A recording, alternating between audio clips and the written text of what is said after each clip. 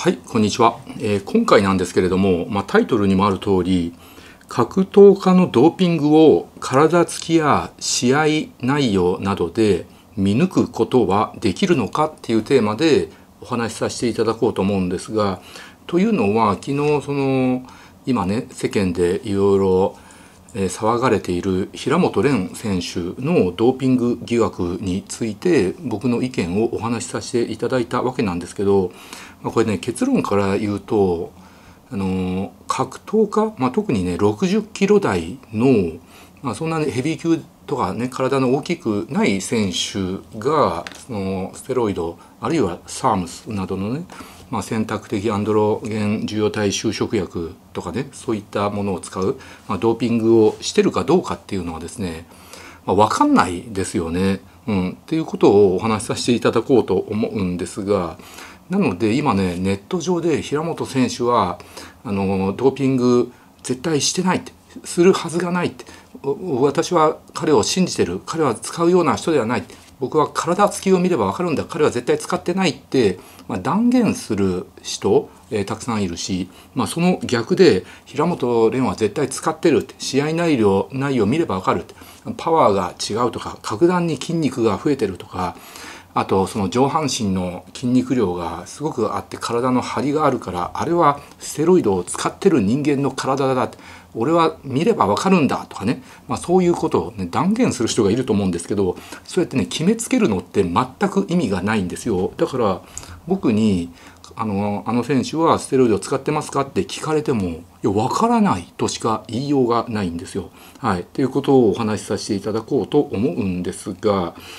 うん、っていうのはねその、まあ、基本的にアナボリックステロイドとかあとサームスっていうお薬を使えば筋肉増強効果があるのでまあ筋肥大するんですよねで筋肉が大きくなってパワーとかスピード、まあ、瞬発力がつくわけなんですよ。うん、で、あのー、基本的にですねその60キロ台の格闘家なんですよ。なのでもともとそんなに体が大きくないんですよ。これがもしそのプロのボディービルダーとかだったらそれはね分かるんですよ。そのその業界にね精通してる人だったらその人の体つき見れば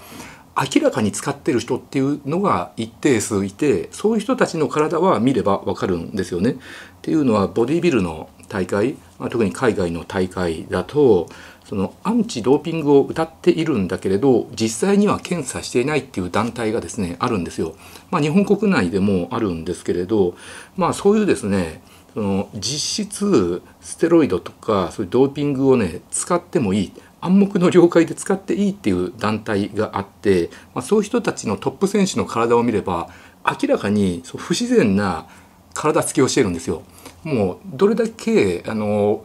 筋肉がね大きくなる素質がある遺伝子的な素質があってそういう人たちが、まあ、完璧なトレーニング完璧な食事完璧な睡眠をとってたとしても絶対あの体にはなれないよねっていう体つきをしているもう明らかに不自然な体の大きさの選手っていうのがしていてそういう人たちの体を見ればまあ一目瞭然でわかるわけだしそもそもそういう大会っていうのはドーピングありきの大会なんですよ。実質暗黙の了解でステロイドを使っていいという団体なのでステロイドを使わないと絶対にトップに立てないわけなので、まあ、そういう団体のトップ選手っていうのはまあ使ってますよと。そういう人たちの体を見れば明らかにわかるです。わかるんです。でボディービルっていうのは基本的に筋肉の大きさっていうのがその競技の中のね大きな基準になるわけなのでやっぱりでかければでかいほど、まあ、有利になるっていう傾向があるまあでかければいいってわけじゃないんだけどやっぱりでかい方が有利なのででかさを競う競技なんですよね。まあ、それ以外にカットとかねストリエーションとかねバランスとかいろいろあるわけなんですけれどなのでそういう人を見れば分かりますよボディービルっていう競技だからね。だけど、まあ、60キロ台のね格闘家の方ってそんなに筋肉ムキムキじゃないわけですよ。うん、なのでまあそういうねあの中量級とか軽量級とか軽いクラスの格闘家ってまあ基本的にドーピング NG じゃないですか。だから薬使わないでナチュラルでトレーニングしてそれプラス食事とか睡眠とかねストレス管理とかいろんなことをもう極限まで頑張って競い合って戦ってそれで勝敗がつく差がつくっていうものなんですけれどまあそれだけじゃなくてそれプラスサームズとかねアナボリックステロイドを使うとやっぱりね差がつくんですよ瞬発力とかあるいはパワースピードっていう点で差がついて圧倒的有利になるわけですよ。で薬をね使う量っていうのもねそんなに多くないと思うんですよね。っていうのはアナボリックステロイドにしろサームズにしろ大量に使えばですねやっぱり筋肉が大きくなりすぎちゃって体重オーバーになりかねないということもありますし明らかに体つきが変わりすぎればやっぱり疑われちゃうわけなので、まあ、ちょっとしか使わないんです量量はちょっとしか使わないわけですね。なのでボディービルダープロのボディービルダーが使ってる薬の量よりもはるかに少ないと思うんですね。場合によっては10分の1とかそれ以下かもわからないです。だけど周りの選手がそういう薬使わないで極限のところで頑張って競い合ってるわけなのでそのわずかな薬を使うか使わないかで結構な差がついてしまうわけです。そもそもその60キロ台とかね50キロ台とかうん、それぐらいの体重で戦ってる選手だったらそもそも筋肉量そんなに多くないわけなのでそれを薬を投与してね筋量筋力がアップしてスピードがアップすればねすごく差がついて有利になるわけですねパンチ力とかキック力とかね破壊力がつくわけだからです。ということでですねまあ60キロ台の格闘家のね体つきとか見てあこの人明らかに薬使ってるよねなんてねわからないんですよねだからみんなあのネット上でね断言してる人ってまあ適当に言ってるんですよね、まあ、言葉は悪いんですけれど、まあ、あの願望とか感想を述べてるわけであって、まあ、実際にどんなにね目が肥えてる人とかステロイド業界ドーピング業界に精通してる人でも見てもわからないですよ。うん、ということなんですけれどなので、まあ、それ以外のねステロイドの副作用うん、副作用があってそれを見てあこの人ステロイドを使ってるなって断言する人もいるわけなんだけど、まあ、それもないんですよね。まあ有名なねステロイドの副作用アナボリックステロイドの副作用っていうとまず害のでありますよね。女性化乳房。あとは皮脂の分泌が多くなってニキビができやすくなる。顔とか胸とか背中とかブツブツができやすくなるとかね。あとは頭髪が薄くなる、まあ、AGA が進行してしまうとかあとは精巣が萎縮するとかですねやっぱりあのアナボリックステロイドを投与すると、まあ、男性ホルモンが外から入ることによってですね、まあ、フィードバックがかかって自分の精巣からのねテストステロンとか精子の産生能力が落ちて精巣がちっちゃくなっちゃうっていうことが起きるわけですよね。っていうので俺は見ればわかるっていう人いるんですよね。でそれもわからないです。はい。まあ、例えば女性化乳房にしても女性化乳房ってほとんどの人がですね原因不明なんですよ。原因不明で女性化乳房になっちゃって、まあ、手術で平らにするとかそういうことを、まあ、僕らもやってるわけなんですけれどもちろんアナボリックステロイドの副作用で女性化乳房起こるんだけどそういう薬を使わなくてもなる人はなるわけなので特に栄養をたくさん摂取して過激なトレーニングしてる人なんかはねそういうことになりやすいわけだしそもそもその女性化乳房、えー、アナボリックステロイドとかサームズの副作用でそうなってしまった場合でも、まあ、タモキシフェンっていうお薬を使うことによってその女性化乳房になるのを予防するっていうあのお薬があるわけであって、まあ、最近はそれを併用してやるっていうのが主流になってるわけですよ。うん、あとは精巣の萎縮難度などとかでもね HCG ヒト重毛性ゴナドトロピンというねお薬を投与することによってその精巣の萎縮も予防するとあるいはニキビとかね頭髪だってそれの副作用を抑えるためのケア剤っていうものがあるわけですよ。AGA と男性型脱毛が進行するようになってしまっただったらまあデュタステレイドとか、えーと、フィナステレイドとかねそういったお薬を投与するとかニキビに対してはニキビのお薬を使うとかですねやっぱりケア剤を使ってるわけなので、まあ、アナボリックステロイドの副作用が仮に出たとしてもケア剤でそれをカバーするっていうことをするわけですよ。それはもう選手とかじゃなくて一般の人でも趣味でアナボリックステロイドね筋肉増強をやってる人なんかはケア剤を合わせて使うっていうことが多いしあと筋力筋肉増強外来クリニックってね、まあ、お医者さんが処方してくれるとこもあるわけですよ。そこでもやっぱりお医者さんはね合わせてケア剤を処方してくれるわけなので、まあ、ましてやプロの格闘家とかプロのボディービルダープロじゃなくてもねアマチュアでもボディービルダーとかフィジークの選手とかでも、まあ、隠れてステロイドを使ってる人なんかはやっぱり合わせてケア剤を使ってる人も多いわけです。でそもそも女性化乳房もニキビもあと男性型脱毛もあのステロイドを使ってなくても起こる人は起こるわけなのでその症状だけ見てこの人ステロイド使ってるって断言するのはもう愚の骨頂なわけでございます。で最近はアナボリックステロイドじゃなくてねサームズっていうその選択的アンドロゲン受容体就職薬就職薬っていうですね新しいお薬、まあ、これもですね筋肉増強効果があるわけなんですけれど、まあ、一般的なアナボリックステロイドと違ってですね筋肉とか骨の強化に選択的に働くっていうお薬なんですよねだからその分、まあ、女性化乳房とか男性型脱毛とかニキビとかね、まあ、副作用が少ないって言われてるわけなんですよね。なのでそういったねサームズを使うことによってより、えー、今までのねステロイドの副作用を抑えてそれでステロイドを使ってるんじゃないかっていう疑いを持たれないようにする、まあ、そういうお薬も出てるわけなのでよりその体つきとか見た目であのステロイド使ってるか使ってないかなんてねわからないですよ。これはもうあのその道のプロでもわからないしステロイド使ってる人でもわからないしそもそも例えばドーピング禁止のボディビルの大会だってあるわけですよ。アンチドーピング歌ってて実際にはドーピングの検査もしっかりやってる大会、まあ、そういうところの選手を見てもですねやっぱりあの時々ドーピング検査すると引っかかる人がいるわけですよ。なのでそういう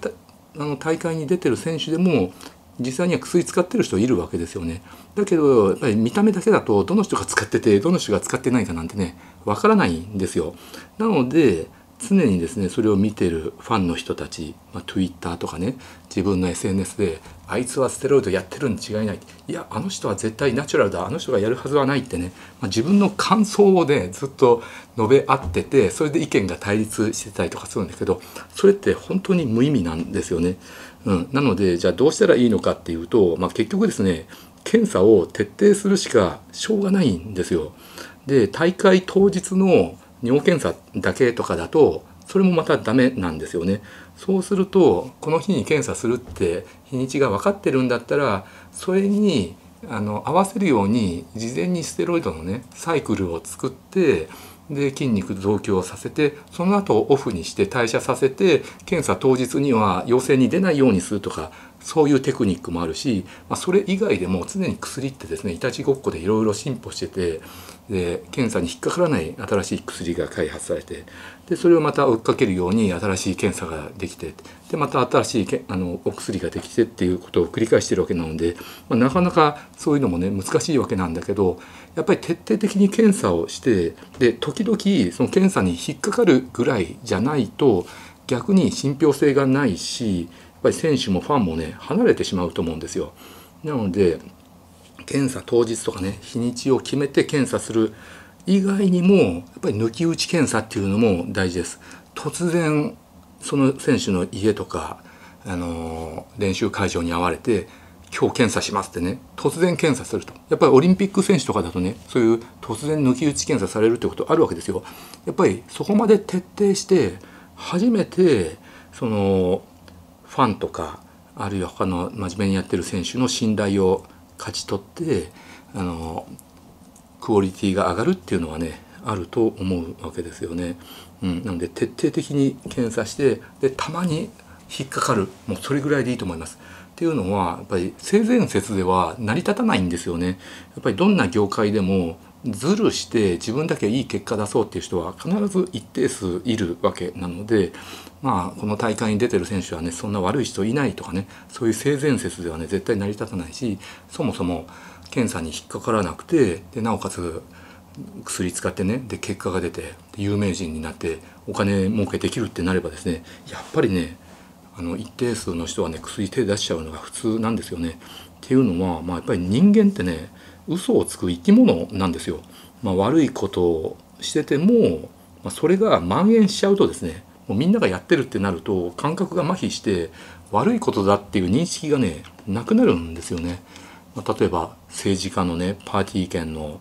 裏金問題とか統一教会の癒着とかだって、まあ、ニュースになれば僕ら今まであんまり知らなかったことが知れてなんてひどいことをやってるんだって思うんだけどその業界の人たちの中ではみんなやってるあみんなっていうか多くの人がやってるんでなんかルール上はちょっとモラルに反するとかルール違反とかでもみんながやってるっていうと、まあ、そういうもんだよねっていう空気になっちゃうわけなので、まあ、スポーツ業界あの格闘業界でもあとボディメイクの業界でもですねみんなやってるよそれが当たり前だよっていう空気になるとですねやっぱりやるようになっちゃうんですよ。まあ、例えばその大会はねボディメイクの大会でその大会はアンチドーピングを歌っててドーピングは良くないことですって青少年のためにも絶対やってはいけませんってね大会ではそういう方針を歌ってるのに検査をやってないとあじゃあやっていいんだねってねみんなやるようになっちゃうんですよね。実際そういうもんなんですよ日本でも世界でも、うん、だからやっぱり検査を徹底的にやってで引っかかってしまった陽性の人は徹底的に処罰をするっていうことをしっかりやらないとですねやっぱり秩序はね絶対保てないと思います。まあパーティー券とか統一教会以外でもさ世の中の人たちの脱税とかさ車を運転してるとだってスピード違反だってね。実際には10キロとか15キロぐらいだったらほとんどの人捕まらないんで10キロぐらいだったら OK っていう感覚でみんなスピード違反してるし一時停止だってねピタッて止まる人いなくて、まあ、徐行すれば OK とかさ横断歩道でも横断歩道で横断しようとしてる人が立ってても別にルール上は絶対止まらないといけないんですけれどそれ突き抜けても捕まらなければ OK ってやっぱり止まる車ってね少ないんですよね。僕は必ず止まるようにしてるんですけどね。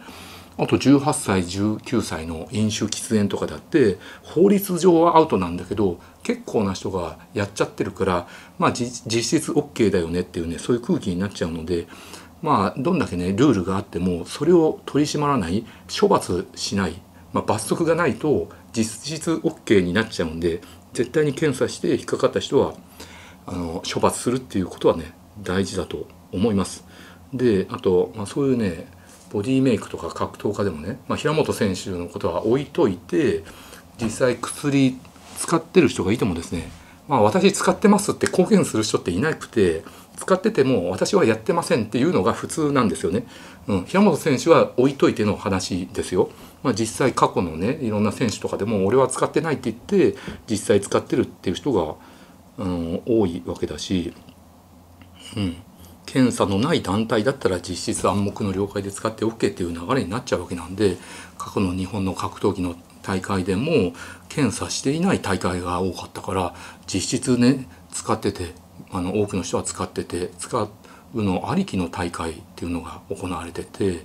でそうだとねヘビー級の選手だともう1年とか2年とかそれぐらいの短期のスパンでものすごい上半身が大きくなるんですよね。やっぱりアナボリックステロイドのレセプターってね下半身よりも上半身の筋肉に多いんでそういうお薬使うと肩とかね三角筋とか僧帽筋とか大胸筋とか上半身の筋肉があのー、急激に大きくなるっていうことがあるんででものすごいパワーがあるわけで他の選手と比べても圧倒的なパワーとでかさがあるとやっぱりこの人使ってるんじゃないかなって疑われてでそういう日本の日本の国内で戦ってる時はめちゃくちゃ強いんだけどそういう人たちがまあ、海外、まあ、UFC とか行ってそこだとちゃんと検査してると。でそこで引っかかっちゃったりとか。あるいはあの引っかからなくても大会出る時すごい日本で戦ってたより一回り体がちっちゃくなって出てで弱くなって負けちゃったりとかね。日本ではあんなに強かったのにアメリカだと急激に弱くなるとかね、まあ、そういうことがよくあるわけなので、まあ、実際使ってないよって言ってる選手でも使ってるっていうことはよくあるわけですね。はい、っていうのが私の意見でございます。なのであの平本選手はあのステロイド使ってるんですかってね僕に聞かれてもねいや分からないですよ。であの採取した尿検査出してまあ陽性だったら使ってるっていうことになるんだけど